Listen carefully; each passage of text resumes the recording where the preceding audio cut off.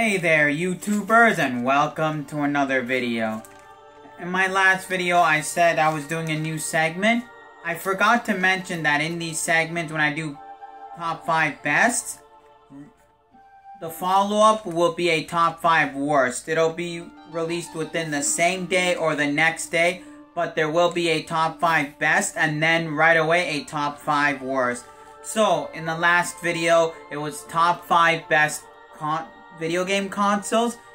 We'll be today we'll be doing top 5 worst video game consoles.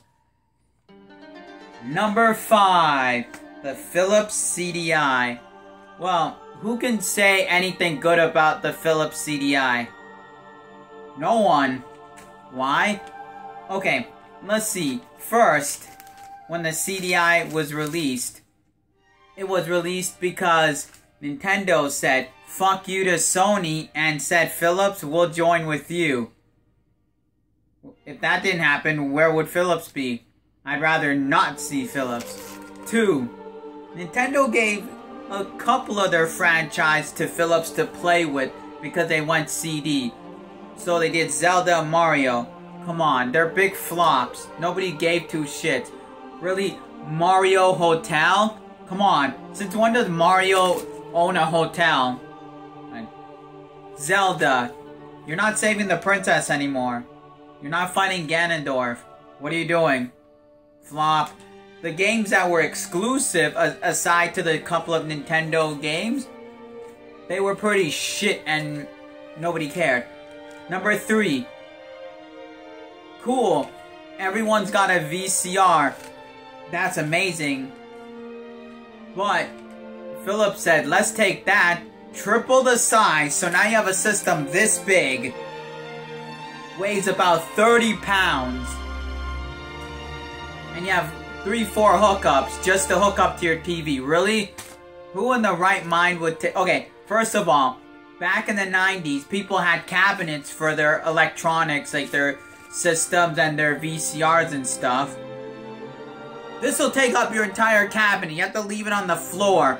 It's a tripping hazard. Come on. And the last reason? Come on. The Philips CDI didn't last even a year before crashing. They still have their license, but they didn't do nothing with it. Number four. We're gonna go really old school. The Vectrex. Yes, in the 70s there was lots of consoles out there trying to fight. Like I said in my last video, Atari stood out through it all. And here's one that stood out to be the shittiest console of the 70s and the birth of the console war, and that's Vectrex. You can say now Vectrex is very collectible because it did stuff it at the time that others didn't do, but because of what it did is what made it so shit. Okay, sure, you had certain games that were different, yes. But they all came with overlays. You just stick them on the screen, now you got a game. Why not make a fucking scenery instead of giving us an overlay? That's the dumbest shit I've ever heard of. And it looks like a mini arcade at home they have to plug in. I don't care to do that. I'd rather go to the arcade if I want. Okay, number Three, there are games that were clones of each other, like tennis, pong, hockey, like those things. Back then, a circle was not a pixel. They had to make a square. So since they were making a square, you play hockey, you'll play tennis, or pong, or whatever in that field. They're all the fucking same shit, unless you put the overlay. Come on. Come up with some better ideas to make them different. Number three, the Sega Saturn. Sure, the Genesis did so well, made Sega the top dog behind Nintendo, but the Saturn killed its name forever. Reason? They made the Sega 32X add-on. No, the Sega CD add-on first for the for the Sega Genesis, which kind of flopped because CDs weren't there yet. Then they make the 32X hoping they can go 32-bit add-on to the Genesis trying to keep the Genesis alive. Sure, amazing, Genesis stayed alive. Everyone loved the Genesis, hated the add-ons. Great. Because of the failure of the add-ons, they said screw the add-ons. Let's make a system to fix our fault. They went 64-bit. I'm sorry. When you already have failing add-ons and then you release a system quickly after people say you failed, your system's gonna fail. No one's gonna buy it.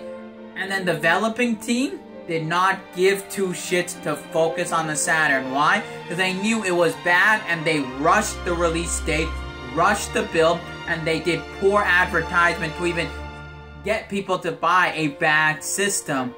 Because after the Saturn, this is this is Sega with the Genesis. This is Sega with the CD and 32X. Sure, because they're add-ons. People said take the add-ons off. So they went back up. Saturn, it went here. Then they made the Dreamcast. Because of the failure of the Saturn, the Dreamcast didn't even stand a chance. Now, number two. These are two systems, one system and an add-on I'm gonna put together. That is the Atari Jaguar and the uh, Jaguar CD.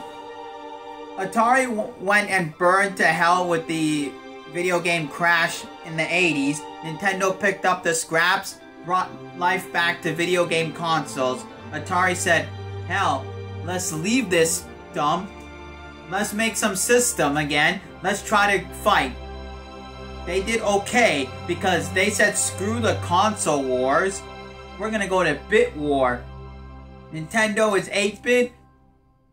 Sega is 16-bit. Atari will be 64-bit. Not many people bought into it because people were scared because of the crash that happened. But they did advertise, do the math. 64-bit better than 16-bit. 64-bit better than 8-bit. Do the math. And they always had like a school teacher pointing at the board saying, do the math. Wrong. Play the system. It's not 64 bits. It's 32 bits. Then, they make the CD to go. Let's go CD form. Yay! Sega's already at 32-bit, already working on 64-bit. You're still at 32-bit. Nintendo just went to 32-bit. I'm sorry. What what are you doing? You're you're stuck. You're stuck late. You're you're 2 years behind. Here's the other problem with the Jaguar. Not this just the CD. The CD had four hookups to hook up to your TV, then to your power, then to your Atari, and then you're good. Why the hell do you need so many plugs? You already have the Jaguar. Just let the Jaguar do all the work and just add that on. Sorry, four plugs too much. Now here's the other big problem. All the consoles you see they had little like where where you put the cartridge, they had a little door to protect from dust. They had good ways of protecting dust. The Jaguar, no door. The pins are here's here's the door. There's no door. Here's the slot for the cartridge. This is how far out it was. Seriously, you're gonna stick the pins out? Pins get really dusty, get damaged easily. Cartridge, had a little holder, because they said, hey, how do you pull your cartridge out? Let's make a holder. Those holders are faulty as fuck. They broke off so easily that eventually your board came out of your system. Dude, that was a horrible idea. And number one, and everybody knows what the number one worst console of all time was. The Nintendo Virtual Boy. First of all, the name just says it already. Anybody who knows it already knows. The biggest failure in video game ever. It was a bigger flop than Atari making E.T. extraterrestrial. Bigger flop than Atari signing with Namco to release Pac-Man onto their system. This was a huge flop. First of all, they're goggles. You put them on your eyes. Cool. That's a nifty idea. I feel like a fighter jet. I feel like one of those futuristic sci-fi films. Amazing. No. You have an LCD screen that's red and green. Very, very bright. Think about it. The brightness of this room right now we're in. Stick that right in front of your eyeballs in red and green. That's gonna hurt your eyes. Even on the box. This is the funny part. You're trying to sell a system, and when you buy the system on their box, it says, may cause blindness. Please be cautious. How do you be cautious if you're telling people you're gonna get blind? That's a stupid advertisement. And if you're already telling us that's gonna happen, why the fuck are you releasing a system that does that? Nintendo mind? I don't know. Third reason, they only had 15 games in total because they discontinued the system in less than a year. It was about seven months into a game system's release. Gone. 15 games, very easy to find, except for two games. And this is what gets collectors to say why. Golf and bowling. Sports games are hard to find. But hey, they're not too hard, but they are hard. Now, you got the weird part about the system. Goggles that go around your eyes.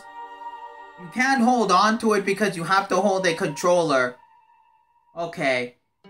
There is no strap to strap it behind your on, on your head or anything to hold to play. Nothing. None of that. What do they give you? A mini tripod for your desk. Since when do I want to sit on a chair, on a desk, plant my chin down onto the desk, stick my eyes in into the console?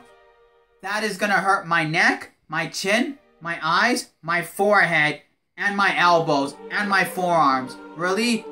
Couldn't you at least make it strapped on your head so at least you take away one negativity from your system? No, you have to give people fucking pain. Even back problems, neck problems, chin problems. You name it, they had problems. Apparently, the biggest problem, kids can get blind according to your box. That was a horrible system. Glad they stopped it. Another company did follow in their footsteps, and they failed in two months of their release too. So, look at the failure of the Virtual Boy. Don't ever make that mistake ever again. These. Now these were the top 5 worst video game consoles of all time. And now, as always, enjoy life and keep on collecting.